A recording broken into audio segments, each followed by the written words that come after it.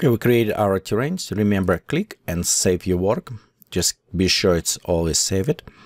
Uh, maybe right in this area, I want to create a rock right there, something big, formation, some rocks that may um, kind of hanging over the water. Instead, using 3D sculpting tool, which is create a lot of polygons, we'll just use it a simple meta blob and we'll use it different rocks if we need it for that. So we can have it three choices. We can create a rocks and just place the rocks top on other ones. But let's do this way. Let's go create a just simple sphere. Okay, we'll just take put sphere around here. I'll squish so it's almost look like a pebble one. Same Alt or Option, left click and drag, so we duplicate it. Okay, we can increase a little bit in size put it maybe around there. Same Alt again, Alt or Options, create another one. We'll put there and we'll do one more. In this case, I actually want stretch, rotate and put it maybe around that area. So overall, it's kind of, you can see the sticking run. So this way, um, maybe we even put it a little bit lower, maybe. They kind of start overhanging our water. So I'll just create kind of nice look. Next, we'll go select all of the spheres and we'll go click on a create meta blob. So left click and you can see it's created very interesting. Don't worry too much about texturing. We'll work on that a little bit later. Okay, same. Let's do this. So let's create new layer and we'll call this um, middle. So for our middle ground. And I want to take all of these and drag and place it in our layer.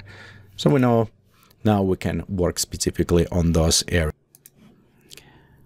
Okay, so we created the rough layout. Look on this, our mountains on a background. We kind of start losing them.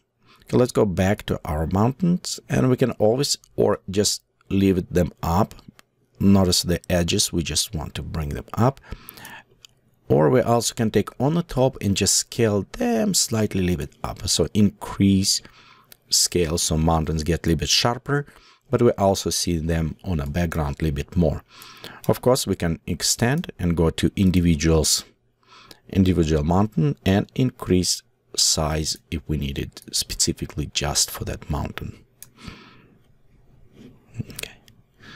So in this case maybe a little bit too sharp take it down so I just want to see it for now. But again, we'll come back to those mountains when we start texturing them and when we start putting ecosystem because the plants will cover some of the some of them and we want to see those mountains on a back. So we'll come back to this. Okay. Um, right here we have our background in our cube. You know what? Let's change material for this. And I'm just putting blue. Okay, right there so we can see positioning.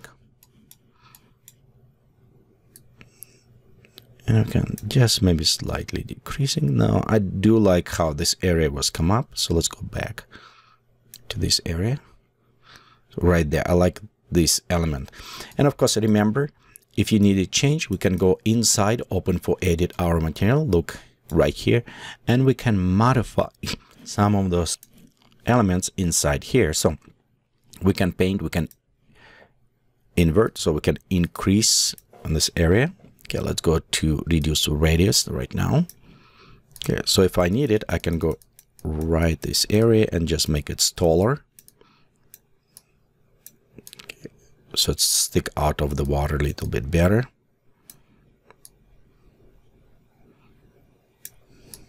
Okay, kind of creating this a little bit more edge. Okay, this way also with small, we can e easy just go and create even some rocks, almost formation on the middle of the water. So it's creating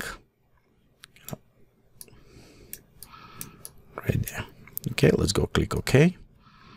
And we can see right there, we start having this water. Let's go preview. And so far you can see we have it roughly out with the overhanging Maybe this one will scale slightly down. We'll see how it will go. But overall, we have a very rough shape with a water setup and uh, mountains. Uh, mountains again, maybe a little bit high, we'll see on this. So let's go ahead and start applying some of the texturing to our uh, landscape. So for this, we'll start with our meta blob. An easy way to do it's actually take material that you already like it and place it. For example, I found out if we, okay, we're in the middle, so we'll go to the rocks. And for example, I look around and it says which type of the rock I like it. So we have it kind of magma, this uh, type of magma rock. It will place it, Terra rock. So we can go bring closer to our camera for now. Just almost laying around. Let's increase in size. And I want to actually render and preview this rock. So this is look very interesting texture. I think we're going with this as a base for now. Okay, I'm going to double time click on this my um, material and I don't like it how it was um, highlights. So actually I want to take highlights and make them dual. So I want to reduce some of the highlights on this. And brightness, notice it is brightness going with the texturing so we can modify if you need it but I want edit brightness color and set a little bit to darker so not as bright a little bit more dual kind of look. Okay so we modify material. Let's go click ok. Next what i'm going to do is right click and select copy this material i wanted.